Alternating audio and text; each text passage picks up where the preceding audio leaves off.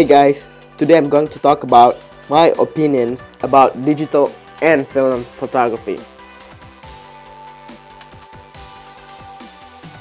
These two are also called digital since they were captured by sensors, not by exposing film. So this is the film camera. Sorry, I had to use my Lomo camera since I lost my SLR. I misplaced it somewhere, I don't know.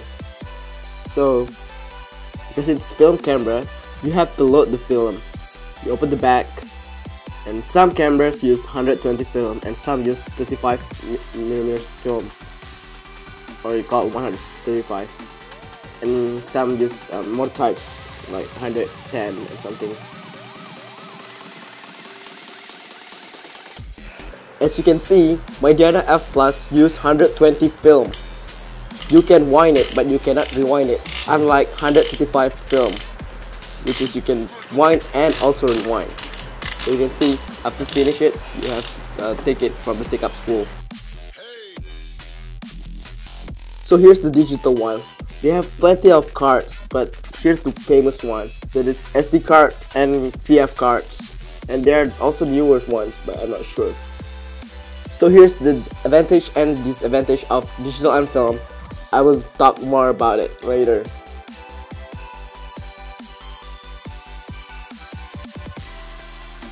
All digital cameras and some film cameras use batteries since uh, they have a light sensor, automatic focus and stuff like that.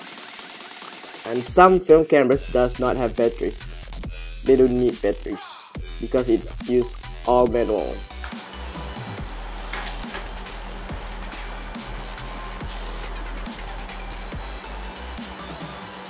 In digital, after you take a shot, you can review it instantly. Or if you're unsatisfied with the image, you can delete it right after. It's easy, right? Unlike film, you have to go to develop it first to see the results. And once exposed, you cannot delete it it's permanently there. So it's kinda cool since you don't know what the results are after you take the shot. In digital photography, you can choose the ISO. It depends on camera too. If you have high-end cameras, they will have higher ISO, better low light performance and low noise. And also, there is an auto ISO.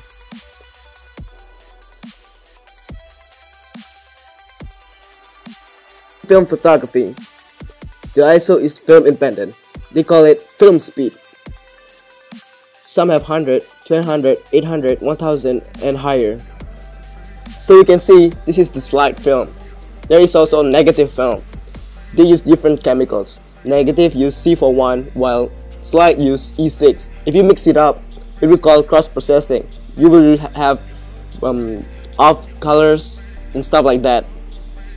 It's cool but developing with E6 costs you more than C41.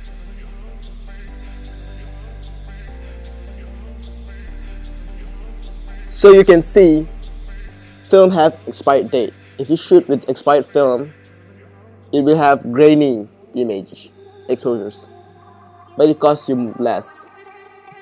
In digital, there are plenty type of cards storage, and they have different size capacity and they don't have expired date. But if you damage the, the card it will lose all of the image and become corrupted. There are also high-end cards um, like this they have fast transfer rate and some SD card do have Wi-Fi built in so you can easily transfer files also remember SD card is more cheaper than film since you can reuse it and also don't forget, instant film is different than roll film because it develops by itself. But the same thing is, they both have expired date. You can transfer files easily using computer by digital. You can connect it with computer and transfer it and you can edit and review it using the computer. It's easier. In film, if you want to convert it into digital, you have to scan it. These days, digital camera have Wi-Fi capability.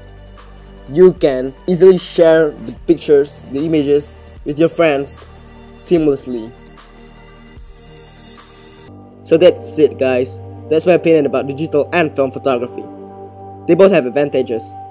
They both are great, cool, and nice. I like them both. But for hobby, I use my film. But for serious work, I use digital. That's it guys. Thanks for watching. See you in the next video.